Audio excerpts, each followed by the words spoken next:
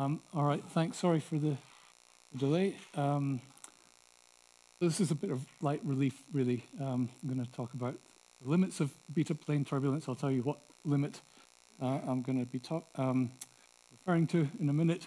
Um, first, just the usual suspects. So I'm talking, going to talk about zonal jets, basically uh, in the talk, throughout the talk. Uh, these are sort of classical examples. Jupiter.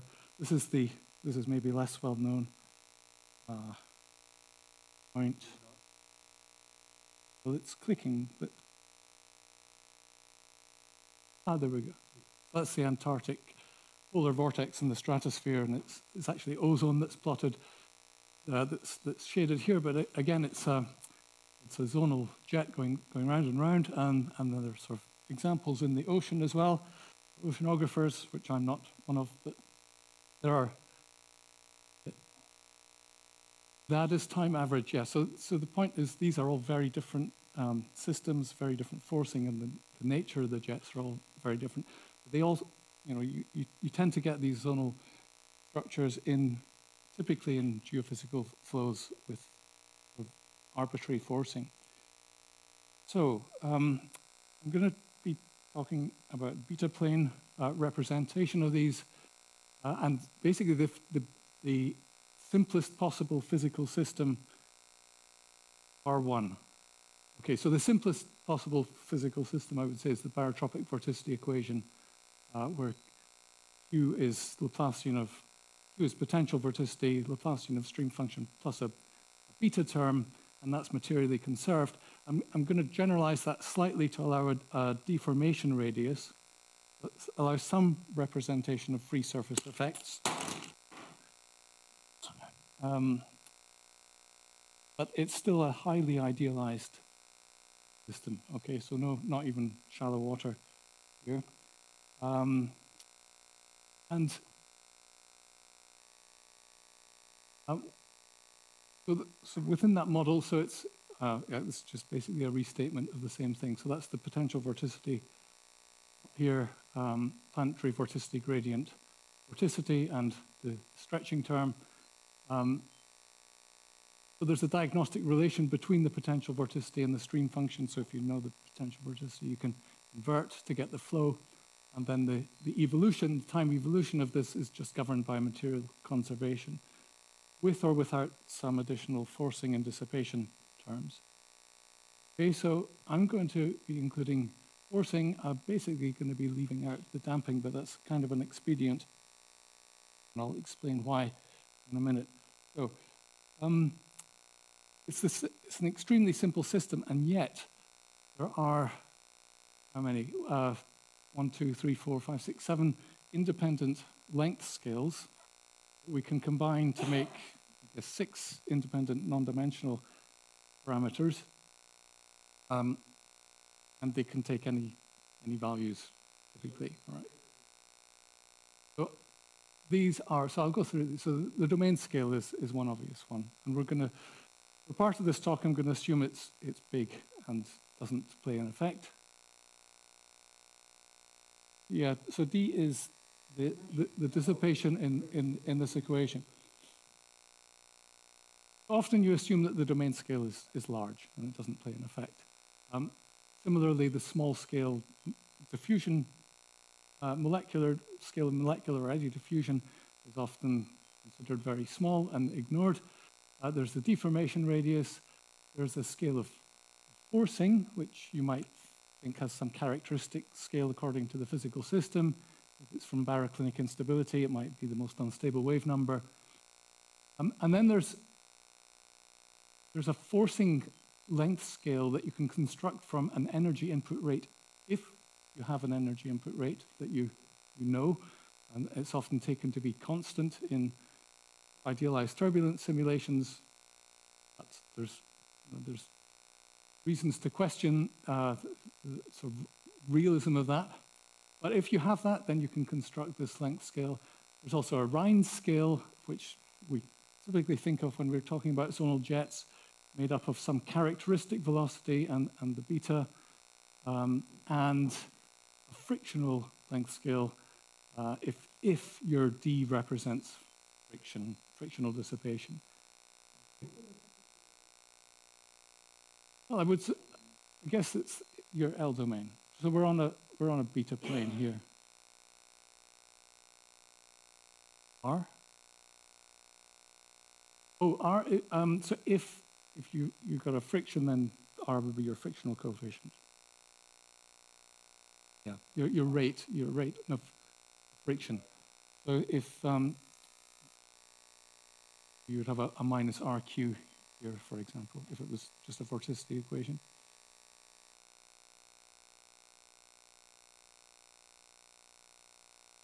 Um, yes, I guess if, yes, it would be a, if your, if your dissipation was some other mechanisms, you would have another different number there. Okay, so we're going to try and um, understand the system in terms of those length scales.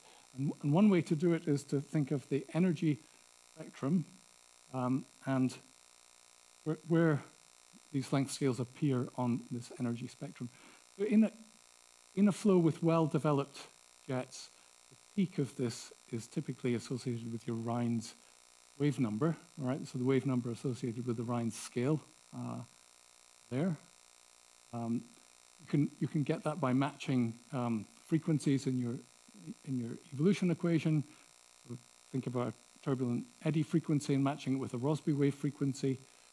Um, the, the wave number associated with L epsilon, if you've got a steady injection, so here the forcing is considering to be at small scales, and at the, if you start forcing from rest at small scales, you're forcing high frequency motions and they don't tend to project onto the Rossby wave frequency. And so your inverse energy cascade is going to be roughly isotropic to start with. And then at some point it's going to run into this scale that you can construct, uh, this L epsilon, and the, the spectrum will start to steepen. So the L epsilon sort of gives a, a break between an isotropic range and a jet's dominated, dominated range. And um, I haven't defined a potential vorticity staircase yet. I'm going to ex explain a little bit what that is. But it's, a, it's basically describing a strong jet regime, and it tends to happen when you get a scale separation between this, this Rhines wave number, which describes the peak of the jets, and this wave number that describes the transition, transition from isotropic to anisotropic dynamics. Okay, um, so this is the potential vorticity staircase. If, in, in a nutshell, if you just start from a, an atmosphere at rest, so your Q is just the, background planetary vorticity gradient, and you start mixing, introduce some mixing, you tend to mix it in discrete regions, here, wherever, um, and between those regions, you're going to steepen the potential vorticity gradients, just constrained geometrically. Now, the, the properties of, of um, potential vorticity mean that whenever you have a steep gradient, you tend to try to perturb that gradient, you tend to generate Rossby waves, and they propagate in a, an east-west direction. So you start to favor zonal flows at that point. and it's such that there's a, a sort of a self-steepening mechanism. That these steep gradients inhibit further mixing in those regions and confine it into the regions in between. So you tend to get Rossby waves on, on these regions, critical layers in between which enhance the mixing there, um, and you end up with staircase in the limit, okay, where the potential vorticity is perfectly mixed in between and there's a discontinuity across them. And the discontinuity is associated with the sharp eastward jets. Um, that's the so basic potential vorticity staircase. We tend to get that when this, this ratio um, L Rhines over epsilon is big. And that means very weak forcing over long time scales. Um, and you can, be, yeah?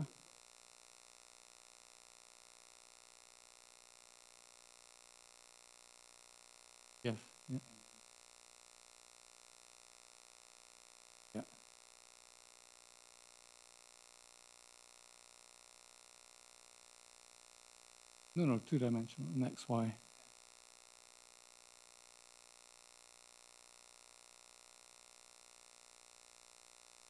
Yeah, yeah, and Rossby wave propagation. Okay.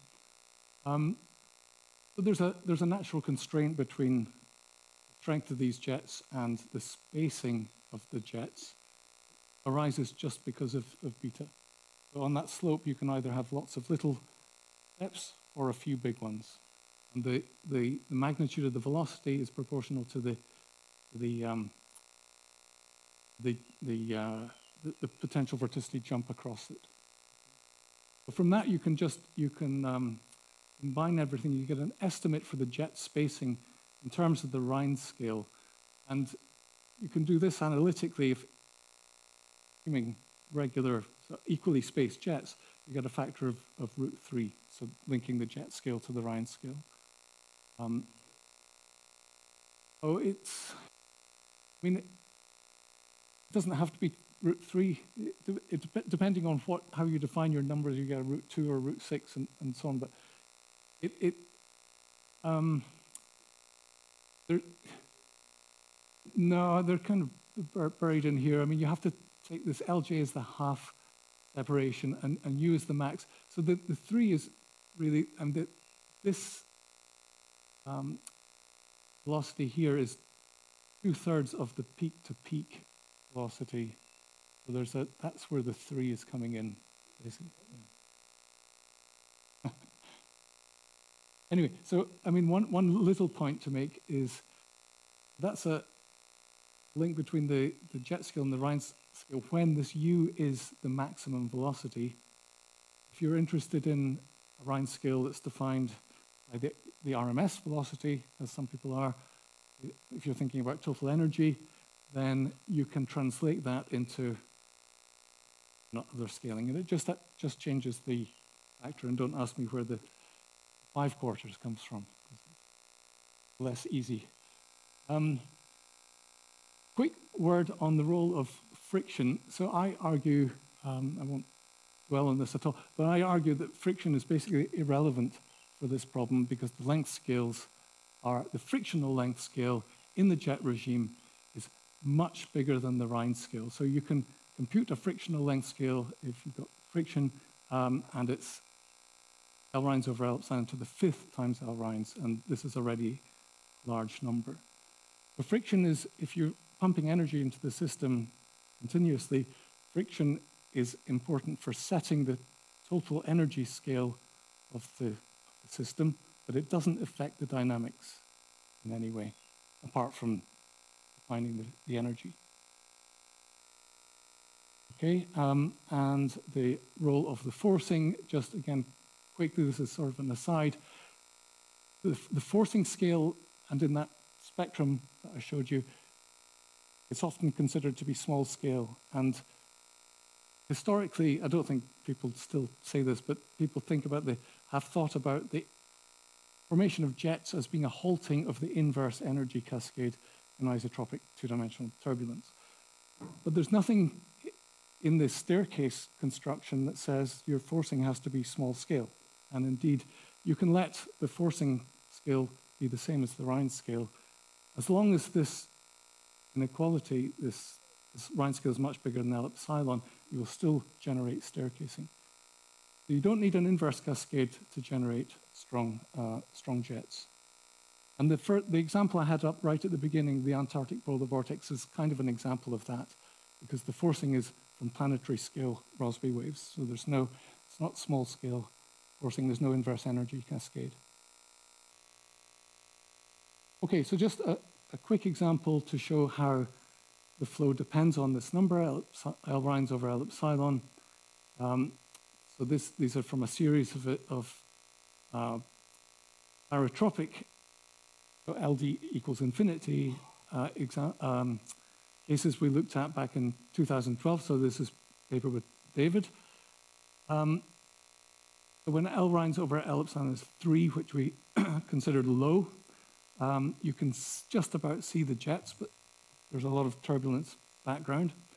And when L Rhines over epsilon is 10, we went up to, these, these jets are much better uh, defined. Um, this is the potential vorticity anomaly. So, the, so you've really got a flat potential vorticity uh, between jets here and here, say. It looks linear here because we're taking off beta y. Okay, and same thing with large-scale forcing. Um, um, paper with Tissier, again in, in 12. this is an example of topographic forcing we David was talking about last week. we actually use this in the quasi-geostrophic framework, which sounds a little bit strange, but we were arguing that it made sense to do for this case. But anyway, you, you see these very strong um, staircases and some interesting dynamics of these staircases developing. Okay, so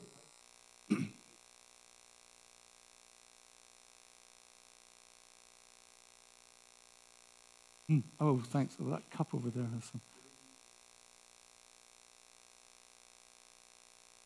Yes. Um, but it, so if you do it in shallow water, you tend to generate a lot of divergence first over vorticity. And here, of course, it's divergence free. But it, it is essentially that. You, you have a topographic component of stream function which goes into the advection of the potential vorticity. It's okay. Yeah.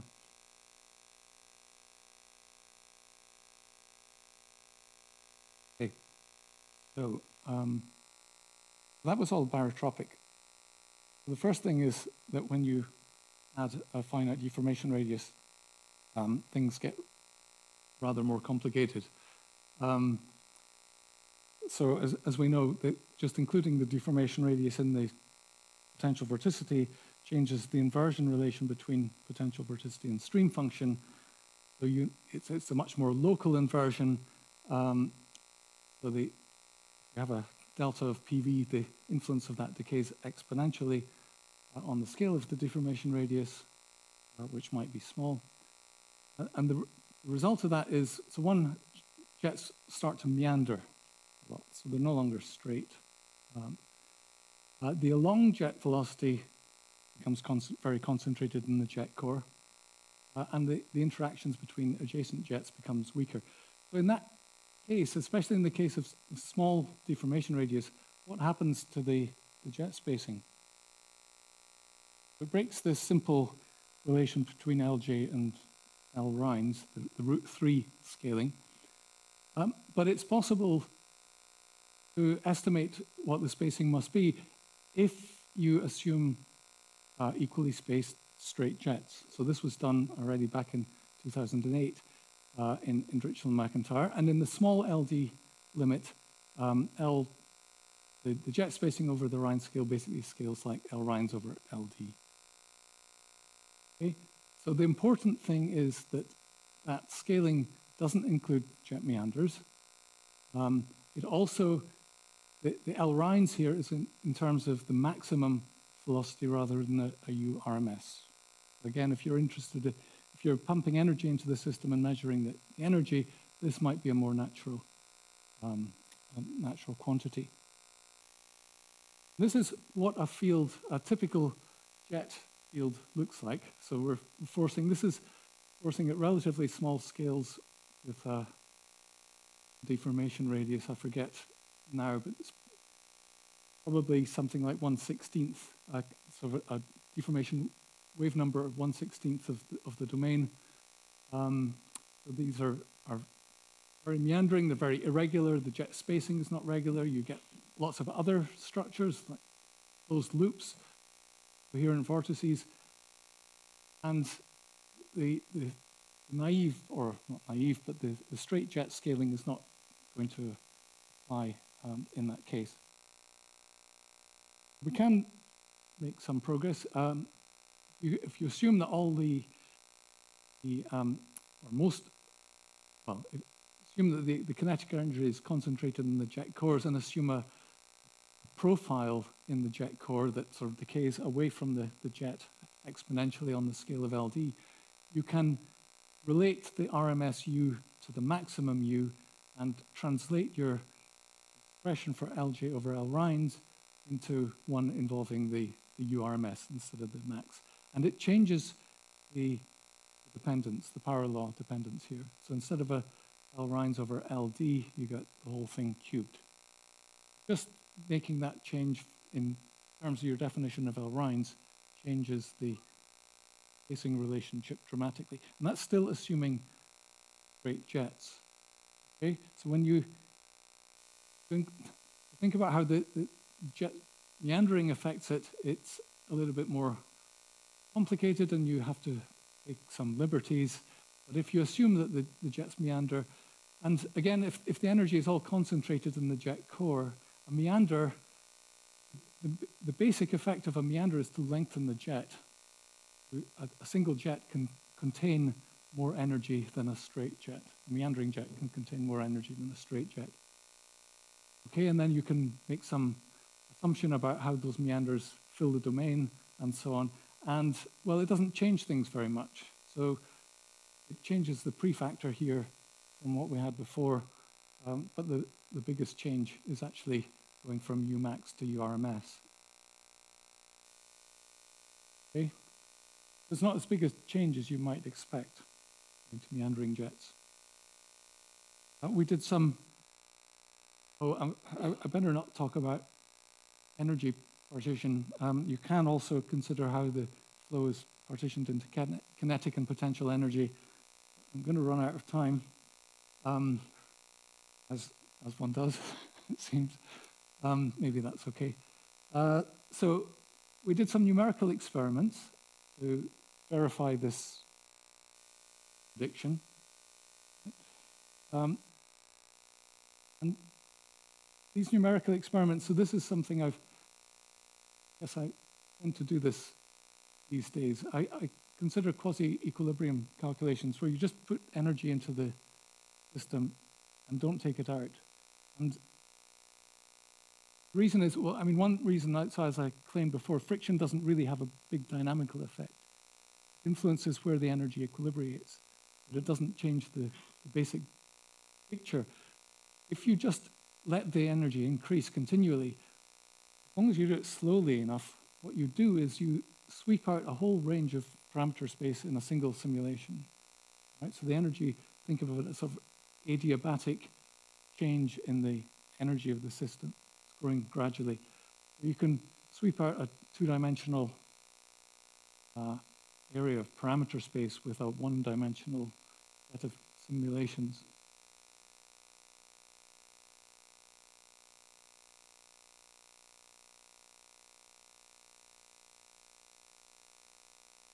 Scale. Yeah, so what's increasing the, the deformation radius here is fixed. Epsilon is fixed because the forcing rate fixed, epsilon is fixed. And L Rhines is proportional to the fourth root of the energy. Yeah, yeah, these, the, so if epsilon is, is constant, these are just all going to follow straight lines. L Rhines is just increasing. So time starts here and goes up. L Rhines increases the same.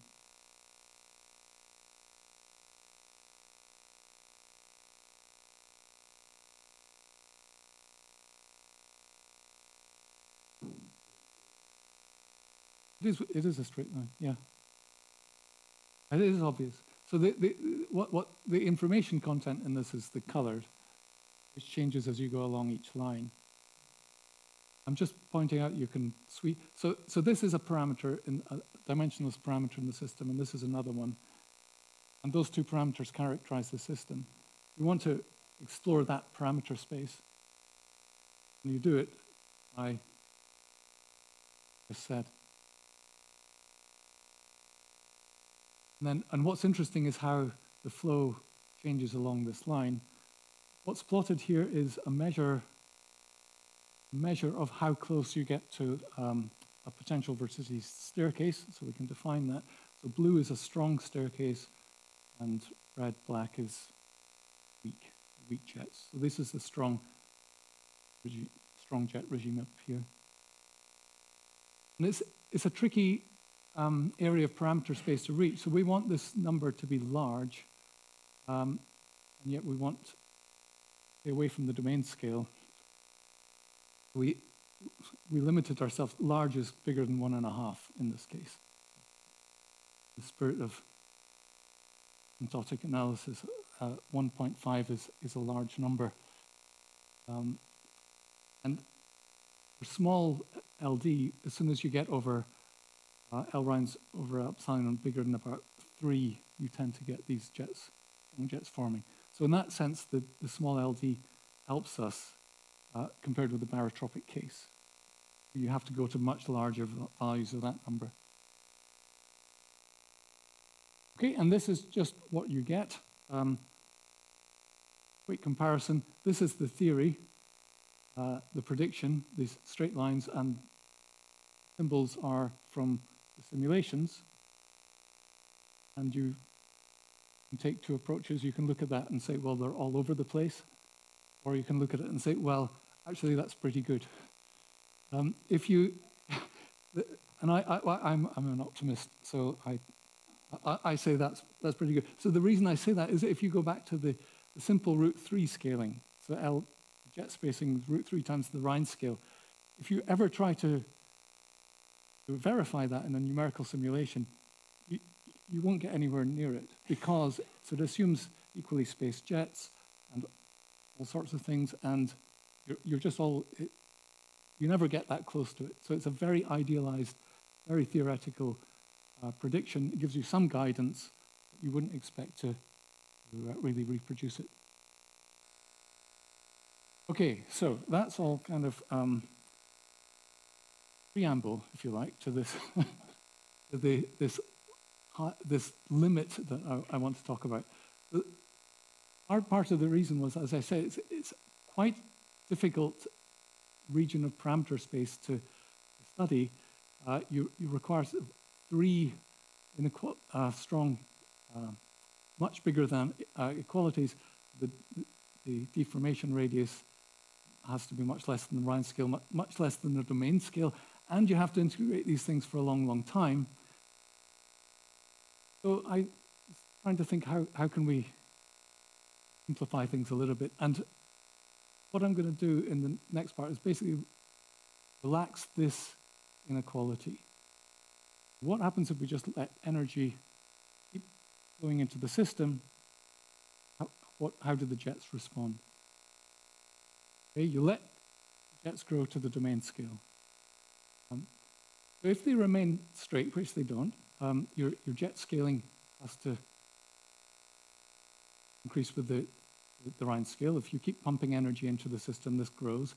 Eventually, so jets, energy gets bigger, jets merge, merge into fewer larger jets, and eventually, in your domain, you'll just have a single jet going across the domain.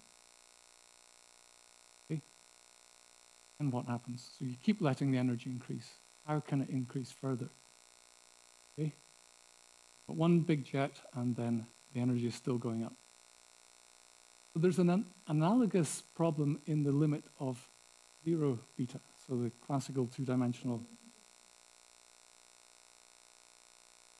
No, because the speed, if you go back to this staircase, the speed is, you, you've mixed into a staircase, speed is proportional to the potential vorticity jump.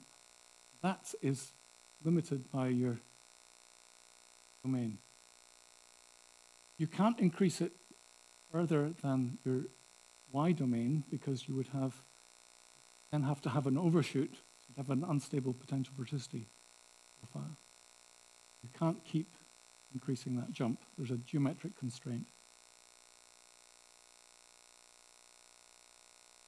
This anal analogous problem of condensation in just straight two-dimensional turbulence eta equals zero, infinite LD. Um, you just start, you generate some turbulence. Uh, there's an inverse energy cascade. It eventually condenses into a dipole, into a vortex dipole. Okay, it's basically the, the gravest mode in the system, uh, and then nothing can happen. So is there something similar happens in, in the beta non-zero case? So it's kind of a condensate right, problem. Um, so you can think about how the energy can still increase. So one way, you can start to let the jets meander, especially at small deformation radius. Okay, the energy is proportional to the jet length. So let's just let that jet start to meander and it's longer. Uh, it will contain more energy. Um, the potential energy of that case is also longer. And you can also have coherent vortices. So the field I showed before has coherent vortices, so we can have, we can allow for them. So they can contain energy. So I'm just going to show um, some examples of what happens. I haven't done serious analysis of this, uh, apart from exploring the parameter regime. I'm going to solve this equation again. So just forced, no dissipation, constant uh, injection rate, no large-scale dissipation. It's a weak forcing, uh, used powers of 2, NF goes from 15 to 30, so very weak and long in the sense that uh, the, the total energy by the end of this is, is 1. Okay, so the, the total energy just grows linearly. It's the black lines. Uh, these are different cases with different NFs from 20 up to 2023, and then there's some other cases. Um, and yeah, so the, the black is the total energy. Red is the kinetic energy multiplied by kd squared. Otherwise, it, it would be way down here. The, the, the, red and red divided by kd squared plus the green, is, which is the potential energy, does give the black. And the blue is the entropy. I'm not going to talk about that. Um, and I'll look at various deformation radius, wave numbers, uh, and very low resolution because we have to. This, um, these are very long integrations uh, and just can't run this thing forever. But spatial structures that, we, that you get from this are domain scale. So these resolutions, I argue, I'll show you some examples, are enough to capture the basic dynamics. We'll go through um, and show you how the, the flow evolves. I don't know how these colors come out. Um, so the, the top two fields are basically the same. I, I plotted these as contours initially. Uh, a reviewer asked for colors. I'm not convinced that they, they're, they're better, but um, anyway, uh, I, have I've, got, I've included both in here so we, you can see. The point is, so there are four contours across the domain from minus pi to pi. So the, the, the contour jump is pi by 2. And the reason I like, one reason why I like contours for this, is this is a, basically arising from a turbulent simulation. And if you, you've done any turbulent simulations, you never plot the vorticity field in contours because it's a mess, right? So this is a very simple vorticity field. And I think it, it probably might be able to see it in the, in the colors, but definitely the. Hmm? It is very late. Yeah, so it's a lot of the, but it's continually forced as well. Small scales. The point is that the, the large scale field is completely dominating the small scales, small scale forcing. It, yeah, it's very small.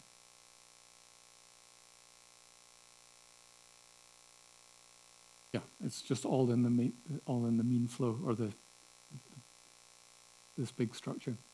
So this is the speed field, and you see that's possibly an easier way to see the jets.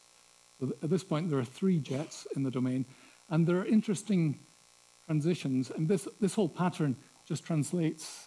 If you were to view this in moving mode, it just translates uniformly. Very little happens, except when you get some transition in the flow. And so this is a, there's, there's going to be a merger here as you keep increasing the energy. Interestingly, it's not this jet, these two jets that merge. This jet passes through that vortex. So there, all these examples, they're, they're very rich sort of topological transitions. This jet interacts with this vortex, ends up on the other side. There's still three jets, but it's moved through, and then these two jets merge. So that's going from three jets to two jets. Yeah, it's the same. This, this one passes or interacts with this vortex here and then passes through it.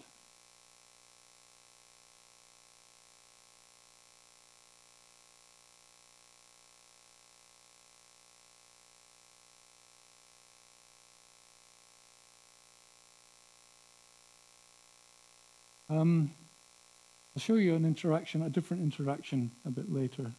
It becomes very transient, basically. Well, this is one actually. Actually, is this the? It is. This is the same one. So this is what happens when that contour passes through this, this vortex.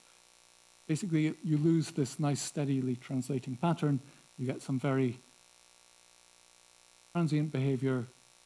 I mean, the, these things are moving all over the place. You get, looks like things are breaking up and reforming uh, for, a, for a period. This is still a relatively short period before it, but then it reorganizes in, into that. And, and, and once these jets form or merge, then, then again, thing is basically steadily translating um, until another merger. Um, okay. So this is a bit later. I think it's a slightly different case. There, there's another transition. You've got a meandering jet around two strong vortices. So these vortices appear at some point and then basically persist. There's another weak jet here. Uh, and again, it, it moves up and through that vortex before merging with that. Again, there's some, everything is moving, yeah.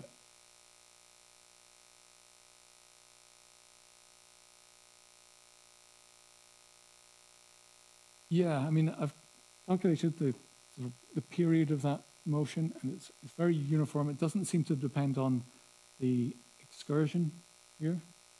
Uh, as this grows, this is going to grow further. The, the, the phase speed tends to no, it's, it's not going, there's no beta drift or anything. It, it is a purely west, uh, yeah, westward drift. Yes, there is beta. Yeah, so that's the, yeah.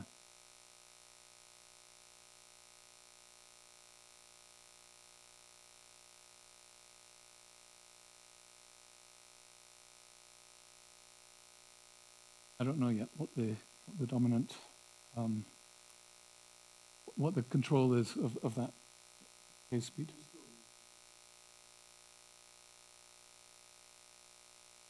Yeah.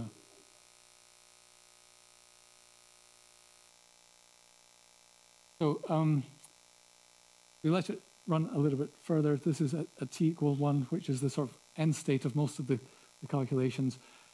And across different forcing strengths. So consider it a range. And they're all basically the same. This is the one higher resolution case. And you can compare this field uh, with, with this one. That's the same forcing. And basically the structure is the same except for the PV gradients across the jet, which have been tightened up in the higher resolution case. But the structure itself is extremely similar. Okay. Um, there are interesting transitions you can let this go further. And at this, at this point, you sort of, you're waving bye-bye to GFD uh, or any, any sensible physical application. Uh, you can let this keep going to t equals 4. The jet meander keeps growing. Okay? And it's only possible because we're in a doubly periodic domain. This, this vortex keeps going up, that one keeps going down, dragging the jets with it. At this point, you've now got, this is one jet going, but it's wrapping the domain, if you like, twice. Uh, so you can think of, think of a, a, mode, if you go back to this um, diagram. So if you've got your negative vortex above positive vortex and you draw a horizontal line, the number of jets that that crosses you can think of as, the, as a mode number. That's mode one, and then at, this point, you're in mode two, there's two jets. And then there's some funny interactions again involving sort of jet vortex interactions, forming a loop around that one. Uh, this doesn't change the mode number, but it seems to, at this point, actually, the we're in this regime here, and it seems that you've entered a sort of quasi-oscillatory regime might keep going or it might persist if you hold the energy fixed at that level. Okay, uh, yeah, that's the same, but in contours. And you can do the same at small deformation radius. I think I won't uh, go into it. You can look at transitions going from mode 2, mode 3. Mode 4 is not really properly resolved at this re resolution. Um, but it, keeps, it just seems to keep going. And all the time, steadily pro propagating.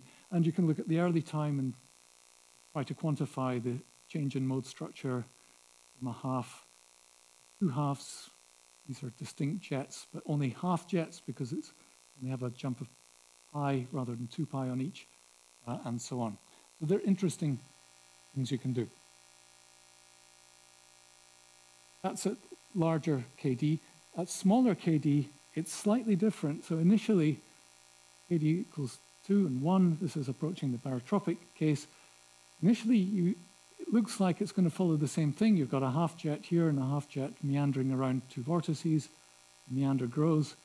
Then at some point in, the, in these calculations, seems to snap and, and say, no, I'm not going to meander anymore, and collapses back to a straight jet. And beyond that, all the energy seems to go into these coherent vortices. And In some ways, this is closer to the, the, the classical condensate problem with a additional straightjet. But any further energy just goes into increasing the strength of these vortices.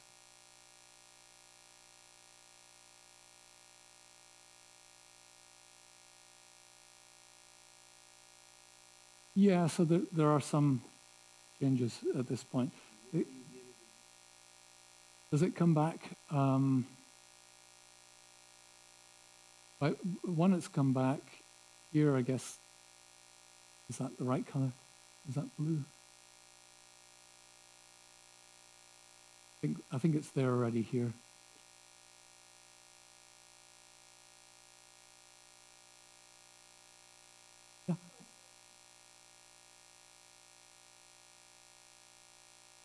a, a realization, a single realization.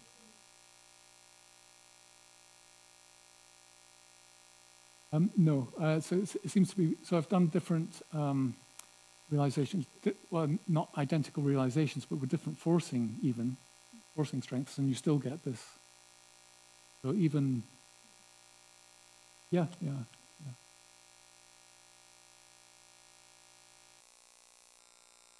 Okay, so that's um, part of it for the jets. So one thing, um, one thing to point out. So, there, so in all cases, so you get these PV staircases when this number is, is very big, and if you keep letting it, let it keep growing, um, eventually it's basically what happens. You get this jet condensate involving these large meanders, and talked about zonal jets, but in, the beginning, but these jets are not what you would call zonal anymore, right? I mean, they start off, start, think of it east-west jets, but these, these jets are all going very strongly north-south, um, even before they start wrapping around the domain.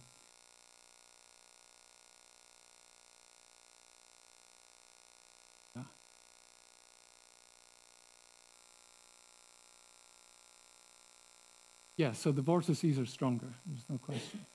Yeah, yeah.